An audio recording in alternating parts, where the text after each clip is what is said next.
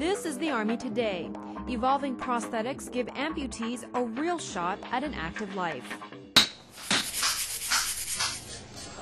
This is what we do here at Walter Reed.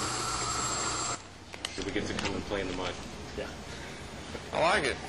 I feel more stable in it than the, uh, the Össur. Today, Sergeant Fairfax is getting a new knee. I was falling a lot in it, and it was just a pain in the butt because it's more embarrassing than anything else when you when you fall in public.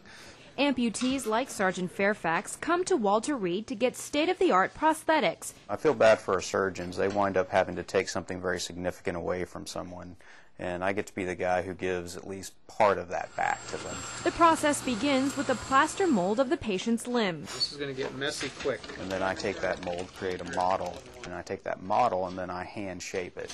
The mold is covered in plastic and then placed into an infrared oven. The infrared rays actually penetrate down into the plastic and soften it. So then at this point, Art's going to take this and uh, clean up the trim lines, and he'll mount up his components, install a valve, and off the patient goes.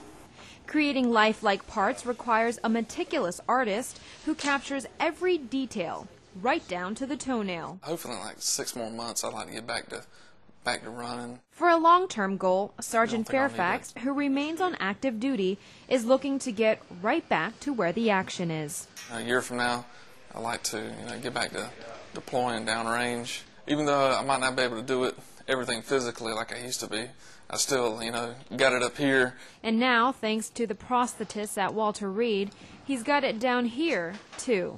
Crystal Park, Washington. That's the Army Today from the Soldiers Media Center, Washington.